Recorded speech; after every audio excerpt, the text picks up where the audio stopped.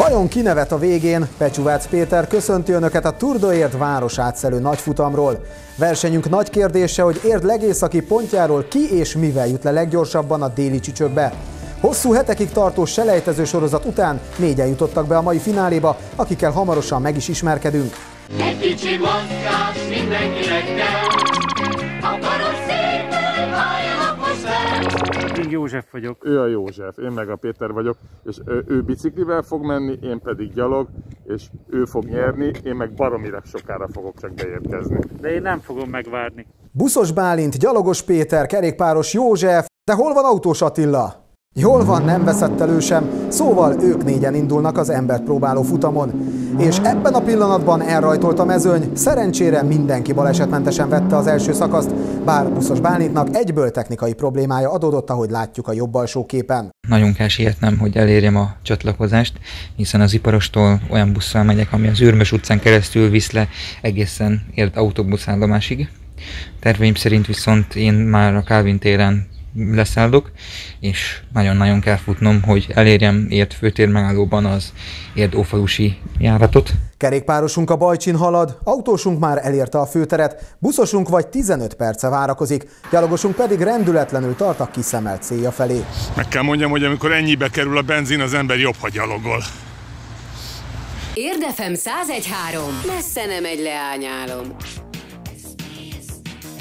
Itt pedig Autós Attila látható a fedélzeti kamera képén. Még mielőtt azt gondolnák, kedves nézők, hogy ez egy előre lefutott verseny és tutira ő nyer, képzeljék csak el, micsoda dugók szoktak lenni városszerte, az aszfaltmentes utakról nem is beszélve, úgyhogy itt ma még bármi vagy akármi is lehet.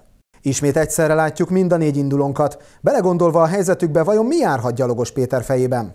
Most már egy fél órája bandukolok, ez elég reménytelennek tűnik. De azért szép város ez azért, így is. És kérem szépen, Autós Attila már célegyenesben van, úgy tűnik ma sem borul a Skoda, akarom mondani a papírforma. Egyéni rekordnak mondható 21 és fél perces idővel nyeri a Tour de Érdet, bár hozzáteszem, szerintem ezt a távot még soha senki nem mérte le előttünk.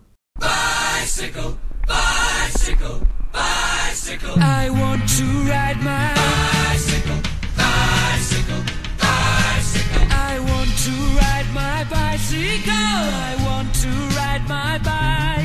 Hoppá, úgy tűnik operatőr kollégánk legkéste buszos Bálint felszállását, azért reméljük Bálint nem.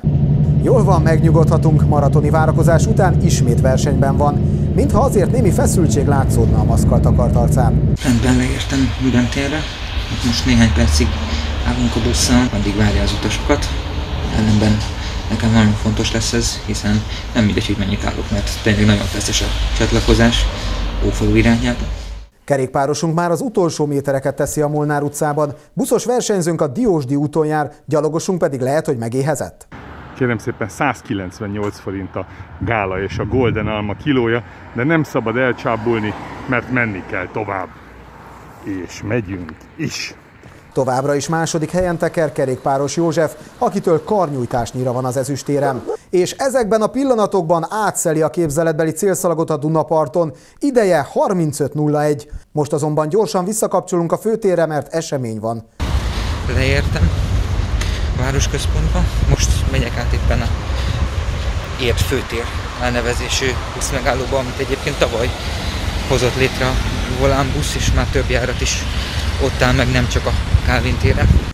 A kezdeti lemaradás ellenére buszos Bálint a jelek szerint még akár a dobogó legalsó fokára is bebuszozhat, feltéve, ha nem robban le a jármű, vagy nem szállítja le az ellenőr indulónkat blitzelés miatt. Azonban utóbbi már csak a doppingvizsgálaton derül ki. De hova tűnt gyalogos Péter? Hát kérem, határozottan kijelenthetjük, hogy Érd nem falu, az ki van zárva ugyanis, hogy egy faluban egy órát lehessen gyalogolni, úgy, hogy az ember csak a céljának a felénél tart, már pedig én még csak a felénél tartok. Éppen leértem, leszálltam a termálnál, már itt is vagyok, mint látható, a gátnál, ami azt jelenti, hogy 42 perc alatt már eljutottam Ófaluba, érlegészeti pontjától, de azért még vár rám egy néhány perces séta a téglagyárig. A várakozást is beleszámítva 1 óra 28 perces idővel végre buszos Bálint is célba ért, és ahogy látjuk, nincsenek jóban a finalisták, Apacsi elmaradt. Úgy néz ki azonban, jut egy kis idő, hogy mindketten végig gondolják, mit rontottak el. Kedves nézők, lassan kifutunk a közvetítési időből, de Gyalogos Péterre, aki jelenleg a főtéren bandukol, még mindig várnunk kell. Közben rá is szóltak a fülemre, ha három órán belül nem ér be, akkor át kell kapcsolnunk az MTK Ferencváros örökrangadóra. De úgy tűnik villámléptekkel gyalogosunk is célba ér, és az érmes helyekről éppen lecsúszva megszerzi az előkelő negyedik pozíciót. Három órán belül.